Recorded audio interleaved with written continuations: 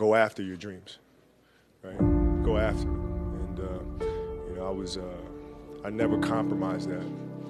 You know, I never allowed anybody to tell me what I was capable of accomplishing. I never let anybody tell me that I can't do, right? I went after it. You know, I put all my eggs in one basket, and hopefully they have that same mentality. If you want to accomplish something or you know, do something that a lot of people think is difficult to, difficult to accomplish, you have to put all your eggs in one basket. And there's no compromise with that.